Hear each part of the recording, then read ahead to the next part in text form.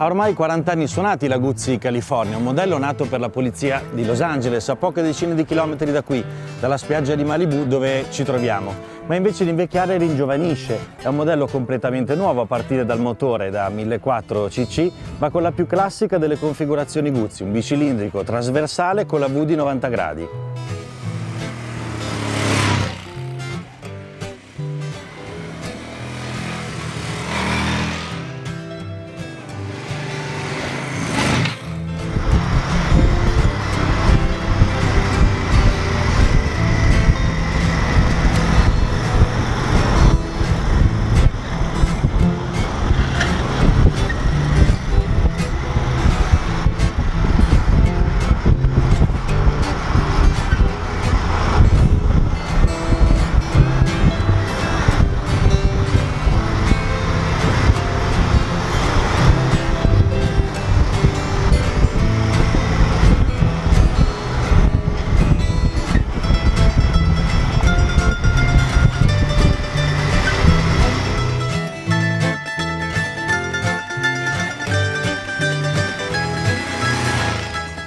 Nel frattempo siamo arrivati a Pasadena, nel centro della città davanti al municipio. Abbiamo anche cambiato moto, siamo passati dalla California Touring, più accessoriata per il viaggio con parabrezza, valigie laterali, alla Custom, più semplice, più essenziale, pulita.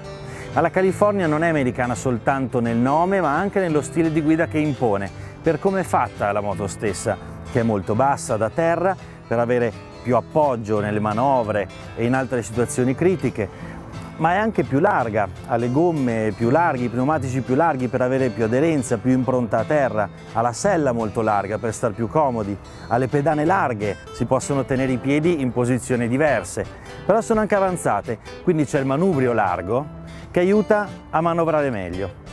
E qui a Pasadena c'è anche il Piaggio Advanced Design Center, un ufficio di Piaggio che si occupa anche di studiare progetti per la mobilità del futuro, mobilità alternativa, ed è guidato da Miguel Galluzzi, uno dei designer di moto più famosi al mondo, più conosciuti al mondo, che ha progettato moto come la Ducati Monster o l'Aprilia RSV4 e ha delle cose da raccontarci sulla mobilità del futuro. Piaggio è un'azienda nata in Liguria, cresciuta in Toscana. Cosa ci facciamo adesso a Pasadena, in California?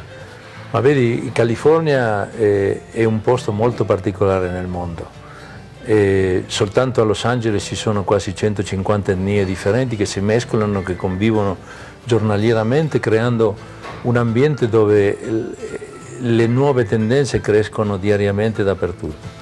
Abbiamo, cioè, senza andare oltre, perché se andiamo da Silicon Valley a Los Angeles, posso dirti che in questo momento ci sono tantissimi progetti di mobilità che stanno andando avanti, anche in forma amatoriale. L'altro giorno vedevamo molto vicino a noi qui questi ragazzi che stavano provando questo veicolo attaccato ai piedi, facendo un filmato per sicuramente andare a fare un, una ricerca di fondi con Kickstarter per creare qualche cosa che in realtà nessuno aveva mai pensato prima.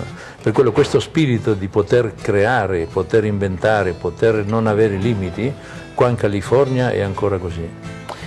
Voi cosa state assorbendo? Quali spunti avete già tratto? Insomma, Cosa ci dobbiamo aspettare dalla mobilità di dopodomani? Ma la mobilità del dopodomani deve essere molto più intelligente di quanto oggi. Noi come Piaggio, come Piaggio Advanced Science Center qua in Pasadena stiamo lavorando molto su progetti alternativi a cose che abbiamo già oggi, come per esempio potrebbe essere l'APE.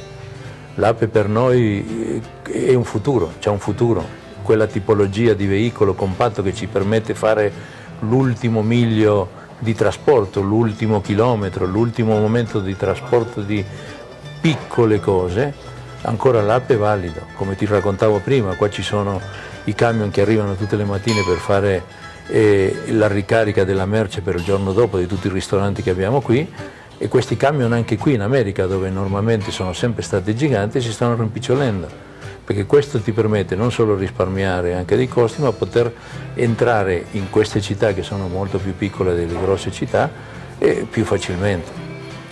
Eh, in qualche modo sarà, potrebbe essere simile anche il futuro della moto? La moto secondo me sta per soffrire anche questo. Questo significa che ci sarà un momento dove tutto quello che abbiamo fatto fino adesso cambierà è sempre successo dopo le guerre, per esempio questo. Morfologicamente la moto ha cambiato dopo grandi cambiamenti o grandi crisi, come in questo caso abbiamo superato questa del 2008-2009 e così via.